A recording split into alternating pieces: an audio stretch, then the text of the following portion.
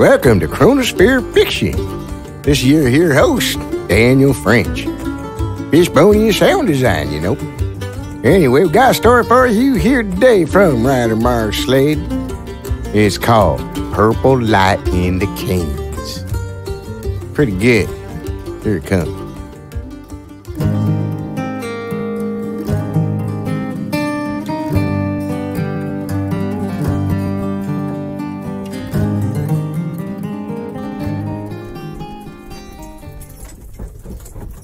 Come on, fellas, you can do it. Miss Chance, do we really have to move out here? I already took the teaching position, Cora. We've come all the way from the east. Too late to turn back now. I don't like to disagree with you, Miss Chance. You adopted me and all, gave me a place to stay, food and clothes, and education after my pa passed on. But this is a fool idea. Cora! We took her on turn or something.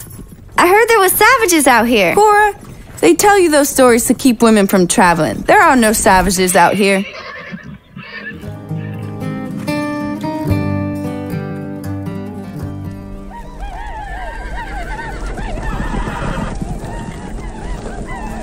Cora? Cora? Cora? No! Oh God! Cora! You can't be dead! You can't be dead!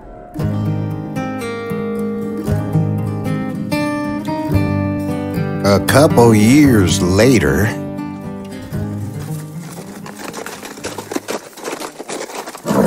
Whoa, girl. Not too much to the left. Not in the mood to fall to my death today. Been riding a long ways, Cora. Maybe we should stop for a while. Guess we could camp here tonight. Hope we find water tomorrow. Ah! Help! Help! What the devil? That was from a rifle. A Winchester. I didn't think anyone was in this canyon. Help! Help! You can hear that, Cora? I hear a voice. Where's it coming from? Ah! Help! Please, help! I'm trying. I'm looking for you. I'm trying to locate you by your voice. Keep talking. Help! Help! Ah! Help! Help! Help! Ah! Here you are, in this crevice. Geez Louise, whoever did this put two huge rocks on top three smaller rocks. Help! Help me! Help! Got one off. Ugh. Woo! Got them all off. Help me! Help me! Come on, let me lift you off that crevice. Woo! Oh, you need a hug? Okay. Okay, honey. That's enough. Can you stand? Whoa, I guess not. Damn, I can't offer you any water because I spilled it all.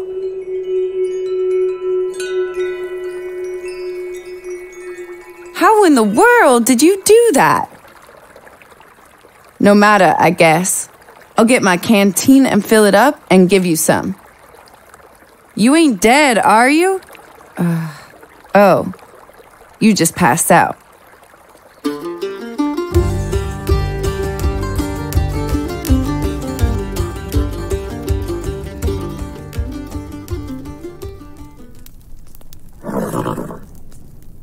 What happened? Where am I? Lay back down. Easy. Everything's okay. You passed out. A saddle is no replacement for a pillow. It was either that or one of these here rocks. I'm not complaining. I'm just making an observation. Is that what you people in these parts call complaining? So you're one of those types. What type would that be? The type you can't win an argument. I suppose so. Shouldn't we introduce ourselves first before we get into a fight? I suppose we ought to. I'm Lanie Smith. I was born and raised in this canyon. I'm glad to meet you, Lanie Smith, from these here canyons. I'm Audrey Chance. Uh, I don't like Audrey much. People call me Chance. If it's worse than that, we have no words. Are you from here? oh no. I'm from all over. Right now, I live in El Paso. I ride through this trail once every year, looking for strays for Nolan Cooper. He owns a ranch out in Bixby. Have you ever been to New Haven? No, I'm never going to heaven, new or old. I said New Haven. I know what you said. You're teasing me. How did you get out here? In that crevice? Someone dislike you? yes, the whole town of New Haven. I've only seen this one time. When I was in Amarillo, this cowboy had too much fun with a girl from a saloon. In her bed, he got rough. She screamed. He cut her to shut her up. The law wasn't in town. They were elsewhere. The townsmen caught up with this cowboy and roped him, rode him with their horses, dragged him three miles to the desert, and buried him from the neck up. When me and my partner rode the trail for strays, we found that cowboy. The vultures were having too much fun with him, from the neck up. What did you do? I use magic. Magic. Is that how you created that stream in this canyon? Yes. Are you scared? No. Because if you are, you'll throw me back in that crevice and cover it with rocks. Leave me to die. If you use magic, then you'll move the rocks. Save yourself. I can't. I need the sky and the trees and the open space for my necklace to help me with my magic. If I'm shut up in a small place, my necklace can't help me with my magic. so these men knew this. They know a lot about me and my paw. Can he use magic? No, he spawned me though. That makes him as bad as me. My mother could use it. Where is she? Dead. Since I was little, been just me and my paw. I should take you back to him. If you could find him. We were running from the men who put me in that crevice. I don't know if he made it. You know who those men are? No. They had sacks on their faces. Well, I suppose we should get some shut eye. Start out the daybreak, look for your pa, and take you both back to New Haven if you want. We'd rather go back to our place just outside of New Haven. Fair enough. Oh, look! Purple lights in the sky. hey, what's the matter? Why are you crying? You wouldn't understand. I might understand more you know. We should close our eyes. Good night. Good night.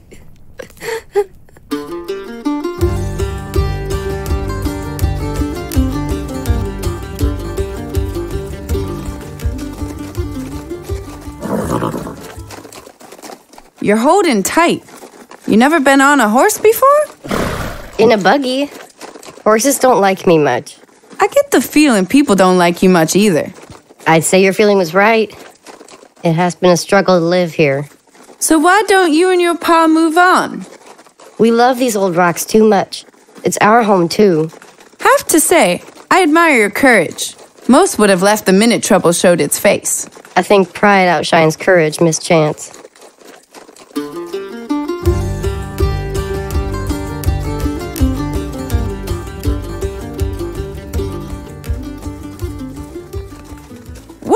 There, Cora.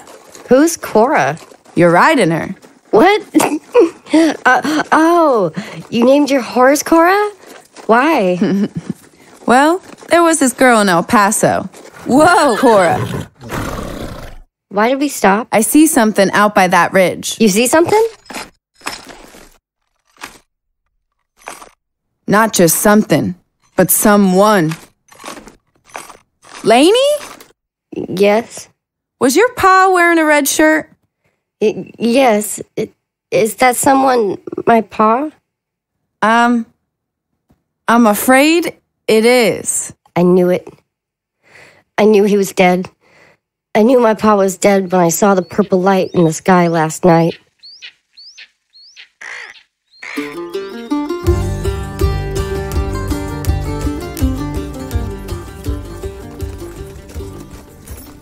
Hmm. Your neighbors like to keep watch on the town. All eyes are on us. They can't believe I'm alive, is why they're watching us. What exactly happened that night? Like I said before, several men burst into our home and tried to take me. Pa shot both of them. Then we ran. Everyone we passed by, they tried to hurt us. The whole town was after us. So strange. We should go into the sheriff's office to report your father's death. Here we are, I'll help you down.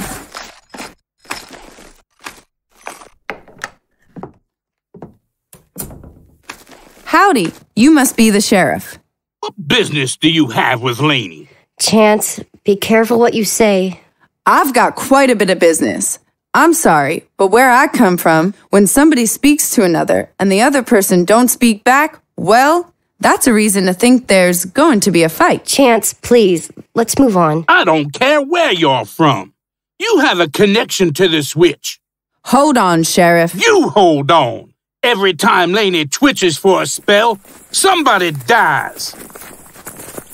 Oh no, they're gathering around us. You need help with this situation, Sheriff? I don't know yet. This girl's father has been murdered.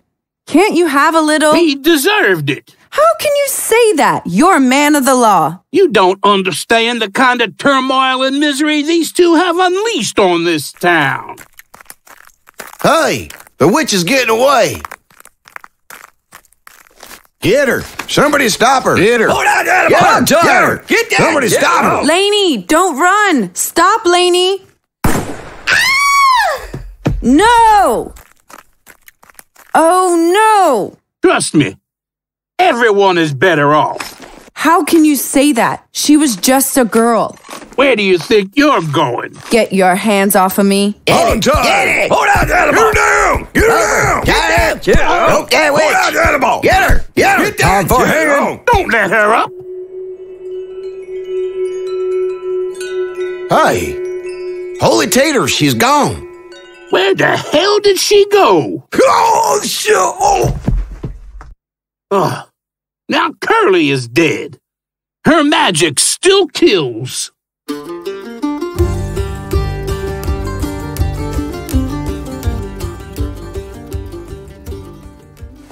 Oof. Ugh. Where am I? You're in a barn, away from that crowd, with me. I saw you killed. You were gunned down in the street. That was a diversion. I created a double. The double ran and was shot. I was still there in the crowd, and I, I brought us here during your little scuffle. The sheriff. He said every time you use your magic, someone dies. I can't help that. When I use my magic to help someone is when the death is more common. Abigail Halesmith was having a terrible pregnancy. Her sister asked if I had any potions to help. I refused to help at first. The more she pushed, the less I thought of the consequences. I didn't know most of the town would die from a sickness. How many died? I, well, 65 was the population. 31 has died. Oh, hell. You're starting to think the rest of the town was right, aren't you? No, I. I'm sorry, Lanie. I'm not sure how to feel about this. I've always believed every life matters unless. There's a murderer? Yeah. I don't even carry a gun except the Winchester I use for hunting. What's wrong with your necklace? It does that sometimes. My mother once told me another user's around, the necklace will glow red. I haven't found that person. Did you notice all the townspeople acted like they were asleep? Strange look in their eyes. Lanie, I think you have a rival in town. We'll follow your necklace. I need my horse. She's here. Cora, one day I'll have to tell you about how she got her name.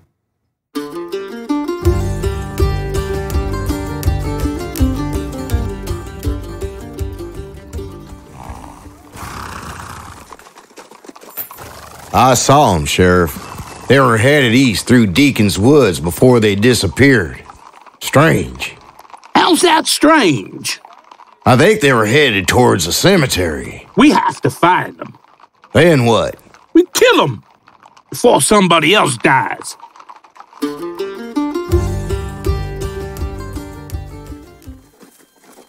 Wherever we're going, the necklace hasn't stopped glowing red in an hour. You don't recognize this area? Well, I think it leads to the cemetery. Yes, yes, it does. There's an old man waving at us. Oh, that's Mr. Richards. He looks like he wants to stop us. Is he with them?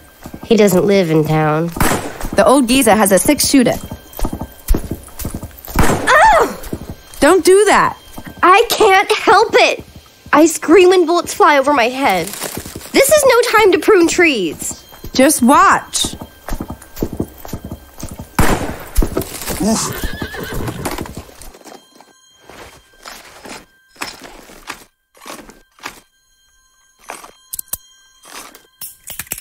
Enough, mister. I'm ending this nonsense now. If you want your gun, you'll have to search for it. Good luck finding your bullets, too. My necklace is red hot, and I'm next to my mother's grave. You want to get shot in the back or in the front? I'd rather not get shot at all, Sheriff. Oh, you're going to die today. No mistaking it. I found it! I found the other necklace here, wrapped around this tree limb. It must have fallen out when they buried Mother here. Ah!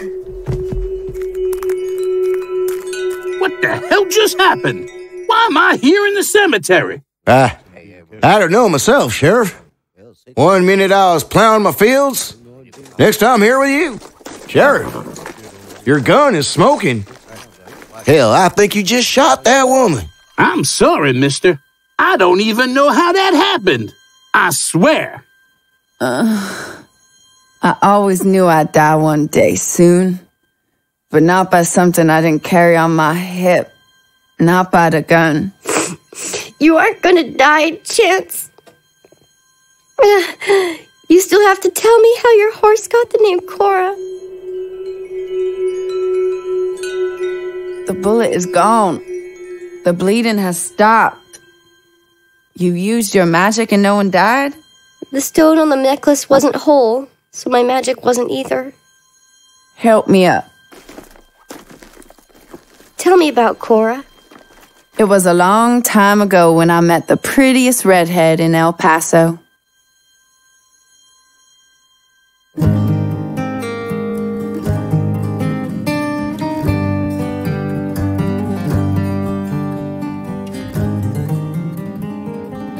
Chance and little girl Cora were played by Kaluna Kiato. Lanie was voice acted by Katheryn Skinner. The sheriff is voice acted by Frank Guglielmelli. Man and Crowd, played by Daniel French. Purple Light Over the Canyons was written by Mark Slade. Editing, sound design, and music by Daniel French at Fishbonius Sound Design. Yeah, thank you for all showing up for another ride on the Chronosphere Fiction Stagecoach. Y'all remember to tell your friends about Chronosphere Fiction, get a lot more people listening here, you know? Anyway, when you get on that stagecoach, go through the spectral streams, remember to keep your cosmos clean.